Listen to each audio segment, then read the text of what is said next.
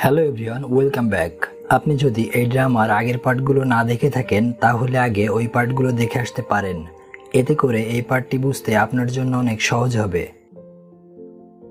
গল্পের শুরুতে ক্যাংম্যারিকে বলে, তুমি আমার, শুধু আমার। আর এখান থেকে একদম পালানোর চেষ্টা করবে না। এরপর মেরিয়াসকে তার মায়ের সাথে দেখা করতে চায় কিন্তু এবার ক্যাং ম্যারির সাথে লোক পাঠিয়েছে। এখন আমরা ম্যারির সাথে যে মহিলাকে দেখছি, সেটা হলো ক্যাংয়ের সৎমা ক্যাংয়ের সৎমা ম্যারিকে বলে, তুমি এখন ক্যাংয়ের সব কিছু ক্যাং যদি তোমার মায়ের না দেখতো, তাহলে কি হতো বলো? তোমার মাকে এত দামি সেনিটোরিয়ামের ভিতরে কে রাখতো? এই কথা বলার পরে ক্যাংয়ের সৎ মা ম্যারিকে এখানে রেখে চলে যায়। এরপর ম্যারি জুনকে ফোন করে, কিন্তু জুন তো এখন অ্যাব্রোর আছে। ম্যারির ফোন রিসিভ করে জুনের ফ্রেন্ড, এবং সে ম্যারিকে জানায় জুন এখন অ্যাব্রোর আছে। জুনের ফ্রেন্ড ম্যারির সাথে কথা বলে বুঝতে পাই এটা হচ্ছে ওই মেয়ে যে মেয়ের ব্যাপারে জুন তাকে জানিয়েছিল।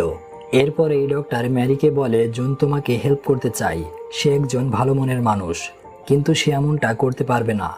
তুমি হয়তো বুঝতে পারছ আমি কি বোঝাতে চাচ্ছি। তুমি অবশ্যই চাও না তোমার কারণে জুন কোনো বিপদে পড়ুক। এই ডক্টরের কথা শুনে ম্যারির জুনের প্রতি ভরসা উঠে যেতে লাগে। তারপর ম্যারি আবার ক্যাংয়ের কাছ থেকে পালানোর জন্য প্ল্যান করা শুরু করে। এবার সে চিন্তা করেছে সে আগে তার মাকে স্যানিটোরিয়াম থেকে সরাবে এবং তারপর পালাবে। প্ল্যান করার পরে ম্যারি কাজে লেগে পড়ে। প্ল্যান অনুযায়ী সে তার মাকে প্রথমে স্যানিটোরিয়াম থেকে নিয়ে পালাতে থাকে। ম্যারির মায়ের অবস্থা অনেক খারাপ ছিল। ম্যারি তার মাকে পালানোর সময় বলে, আমরা এখন এক অন্য জায়গায় যাব। যে জায়গার ব্যাপারে কেউ কোনো কিছু জানে না। এরপর আমরা দেখি ম্যারি তার মাকে এক বৃদ্ধাশ্রমে রেখে দেয়। অন্যদিকে ক্যাং তার বাবার সাথে বিজনেসের ব্যাপারে কথা বলছিল।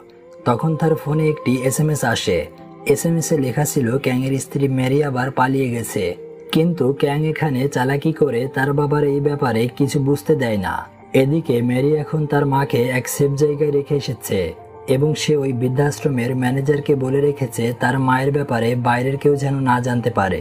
অন্যদিকে ক্যাং অফিস থেকে স্যানিটোরিয়ামে যায় ম্যারির মাকে দেখতে।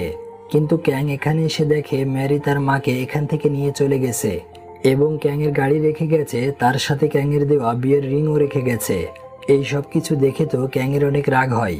অপরদিকে জুনের স্ত্রী মারা গেছে। এই খবরটি জুন অ্যাব্রো থেকে আসার পরে জানতে পারে। আর এদিকে ক্যাং ম্যারিকে নিয়ে অনেক চিন্তার ভিতরে আছে। ম্যারির ফোন বন্ধ থাকার কারণে ক্যাং তাকে ট্র্যাক করতে পারছিল না। কিন্তু এখন ম্যারি তার ফোন অন করেছে। ক্যাংয়ের বডিগার্ড এই ব্যাপারে জানার পরে ম্যারির নাম্বার দিয়ে লোকেশন ট্র্যাক করতে শুরু করে এবং ম্যারিকে খোঁজার জন্য বেরিয়ে পড়ে। অন্যদিকে আমরা ম্যারিকে দেখতে পাই। এখানে ম্যারি তার কাছে থাকা টাকা এবং আইডি কার্ড এই সব কিছু একটি ব্যাগে রাখে এবং আরেকটি ব্যাগ নদীর ধারে নিয়ে আসে আর রেখে দেয়। সাথে ম্যারি তার জুতাও ব্যাগের পাশে রেখে দেয়। তারপর ম্যারি এখান থেকে চলে যায়। অন্যদিকে জুন তার স্ত্রীর শেষকৃত্য করছে। জুনের স্ত্রী মারা যাওয়াতে সে অনেক ভেঙে পড়েছে, কারণ জুন তার স্ত্রীকে প্রচণ্ড ভালোবাসে। এরপর ম্যারির স্বামী ক্যাং নদীর ধারে আসে। তখন সে দেখে ম্যারির ব্যাগ এবং জুতা পড়ে আছে। এমনটা দেখে মনে হচ্ছে ম্যারি সুইসাইড করেছে। আসলে এইসব কিছু হচ্ছে ম্যারির সাজানো। যাতে এইসব কিছু দেখে ক্যাং মনে করে ম্যারি মারা গেছে। আর এমনটা ভেবে ক্যাং যেন থেমে যায়। এই জন্য ম্যারি এইসব কিছু করেছে। ম্যারি আসলে যে কোনো মূল্যে ক্যাংয়ের থেকে আলাদা হতে চায়। অন্যদিকে ডক্টর জুনের স্ত্রী মারা যাওয়াতে সে অনেক কষ্ট পাচ্ছে এবং সে নিজেকে অপরাধী ভাবছে। তার মনে হচ্ছে সে হয়তো তার স্ত্রীর ভালোভাবে খেয়াল রাখতে পারেনি এই জন্য মারা গেছে। যদি সে তার স্ত্রীর ভালোভাবে খেয়াল রাখত, তাহলে হয়তো মারা যেত না। ক্যাংয়ের বিশ্বাস এখনও তার স্ত্রী ম্যারি বেঁচে আছে এবং আশেপাশে কোথাও আছে।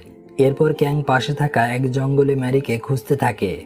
এখানে আমরা দেখতে পাই ম্যারি আসলে জঙ্গলের ভিতরেই। তার মানে ক্যাংয়ের ধারণা সত্যি। জঙ্গলের ভিতর দিয়ে ম্যারি পালাচ্ছিল আর এক পর্যায়ে গিয়ে ম্যারি পড়ে যায় এবং তার কাছে থাকা ব্যাগটিও পড়ে যায়।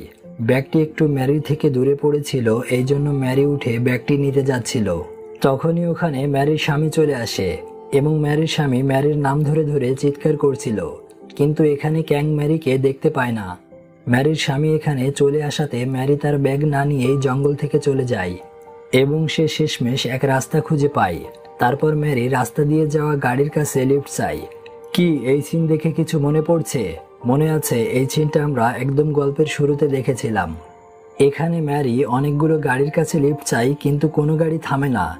এই জন্য ম্যারি একটি গাড়ির সামনে গিয়ে দাঁড়িয়ে যায়, আর গাড়িটি থামে। এই গাড়িটির ভিতরে জুন ছিল। জুন তার স্ত্রীর শেষকৃত্য করে বাড়িতে যাচ্ছিল। এদিকে ক্যাং ম্যারিকে খুঁজতে খুঁজতে এখানে চলে এসেছে। কিন্তু এতক্ষণে ম্যারি এবং জুন এখান থেকে চলে গেছে। এরপর জুন ম্যারির কাছে জানতে চাই তার সাথে কি হয়েছে, সেই জঙ্গলের ভিতরে কীভাবে আসলো। ম্যারি বলে, আমি আমার স্বামীকে ধোকা দিয়েছি। আমি এখানে আসার আগে এমন সব কুলু রেখে এসেছি যেটা দেখে আমার স্বামী মনে করবে আমি সুইসাইড করেছি। ওকে থামানোর জন্য আমাকে এমনটা করতে হয়েছে। এবার হয়তো আমি তার হাত থেকে মুক্তি পেয়ে যেতে পারি। এই সব কিছু শোনার পরে জুন বলে, আমি তোমাকে যে কোনো প্রকার হেল্প করতে রাজি। এদিকে ক্যাং যে কোনোভাবে ম্যারিকে খুঁজে বের করবে। তার কোনোভাবেই বিশ্বাস হচ্ছে না মেরি সুইসাইড করেছে। জুন মেরিকে হেল্প করতে রাজি হওয়াতে ম্যারি তার কাছে জানতে চাই সে হঠাৎ করেই তাকে হেল্প করতে কেন রাজি হলো। তখন জুন বলে, আমি আমার চোখের সামনে আর কারোর মৃত্যু হতে দেব না। আমি চাই তুমি এই সব কিছু থেকে মুক্তি পাও। এই সব কিছু তুমি সহ্য না করতে পেরে যদি তুমি সুইসাইড করো, তাহলে আমি নিজেকে কখনো ক্ষমা করতে পারব না। এরপর ম্যারির সার্জারির দিন চলে আসে। আজকে ম্যারির সার্জারি হবে। কিন্তু এই খবরটা কোনোভাবেই লিক করা যাবে না। এই জন্য জুন তার সব স্টাফদের বাইরে পাঠিয়ে দেয়। সে তার স্টাফদের বলে, আজকে একজন ভিআইপি লোকের সার্জারি করা হবে। সে কাউকে জানাতে চায় না যে সে প্লাস্টিক সার্জারি করছে। এরপর সার্জারির আগে জুন ম্যারিকে বলে, তোমার কোনো ইচ্ছা আছে যে অন্য কোনো লোকের মতো তোমার চেহারা বানাতে চাও? যদি থাকে তাহলে বলো, আমি তার মতো তোমার চেহারা বানিয়ে দেব। ম্যারি বলে, না, আমার এমন কোনো লোক নাই। যে আমি তার মতো চেহারা বানাতে চাই।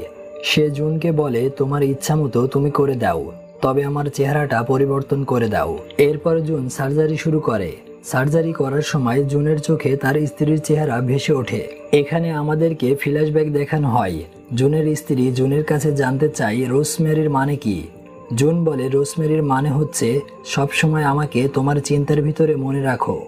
তারপর জুনের স্ত্রী বলে, এটা অনেক বোরিং যে সব সময় একটা মানুষকে নিয়ে চিন্তা করা। এরপর আমরা বর্তমান সিন দেখি। ক্যাং ম্যারির চিন্তায় পাগলের মতো হয়ে যাচ্ছে। সে আসলে ম্যারিকে প্রচণ্ড ভালোবাসে। অন্যদিকে ম্যারির সার্জারি শেষ। আজকে তার ব্যান্ডেজ খোলা হবে। এরপর জুন যখন ম্যারির ব্যান্ডেজ খোলে, তখন তো সে পুরো শক্ট হয়ে যায়। এখানে জুন কি কারণে শক্ট হয়েছে, এটা আমরা গল্পের সামনের দিকে গিয়ে জানতে পারব। জুন ম্যারির ব্যান্ডেজ খোলার পরে তাকে কিছু না বলে চলে যায়। ম্যারি যখন তার চেহারা আয়নাতে দেখে, তার অনেক ভালো লাগে, কারণ সে তো অনেকদিন ধরে চাচ্ছে তার চেহারাটা পরিবর্তন হোক। আজ ফাইনালি সেটা সম্পূর্ণ হয়েছে, আর এখন তার স্বামী আর তাকে খুঁজে পাবে না। ম্যারি এখন পুরো মুক্ত। কিন্তু ম্যারির স্বামী ক্যাংয়ের লোক ম্যারির জঙ্গলে পড়ে থাকা ব্যাগটি খুঁজে পেয়েছে, যেই ব্যাগটিতে ম্যারির টাকা এবং আইডি কার্ড ছিল। আপনাদের মনে আছে, জুন ম্যারির ব্যান্ডেজ খোলার পরে শক্ট হয়ে গেছিল জুন তার স্ত্রীর চেহারা ম্যারিকে দিয়ে দিয়েছে। এই জন্য সে অনেক আফসোস করছে। এদিকে ক্যাং ম্যারির ব্যাগটি খুলে দেখে ব্যাগের ভিতরে আইডি কার্ড এবং অনেকগুলো টাকা আছে। এই সব কিছু দেখে ক্যাং শিওর হয়ে যায় ম্যারি এখনও বেঁচে আছে, কিন্তু সে ক্যাংয়ের থেকে পালিয়ে গেছে। তবে ক্যাংয়ের এটা ভেবে ভালো লাগে যে ম্যারি এখনও বেঁচে আছে।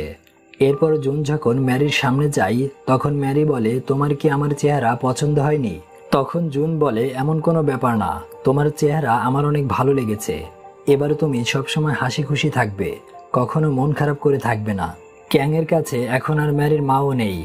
যাকে দিয়ে সে ম্যারিকে ভয় দেখিয়ে কাছে পাবে। তখনই ক্যাংয়ের মনে পড়ে লাস্ট টাইম ম্যারি যখন তার মায়ের কাছে এসেছিল, তখন সে অন্য দিনের থেকে আলাদা ড্রেস পরা অবস্থায় ছিল।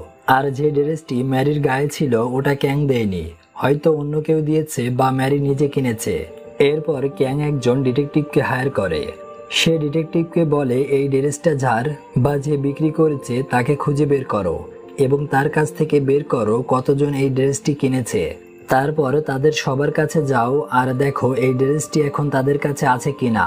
যার কাছে নেই, তাকে ধরো এবং ভালোভাবে খোঁজ নাও। তার সাথে আমার স্ত্রীর কোনো যোগাযোগ আছে কিনা?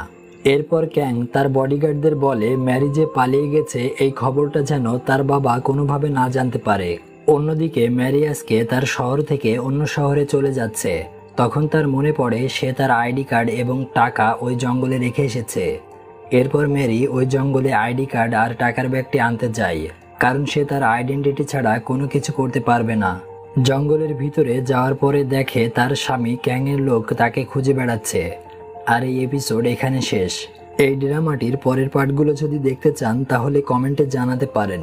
Thanks for watching this video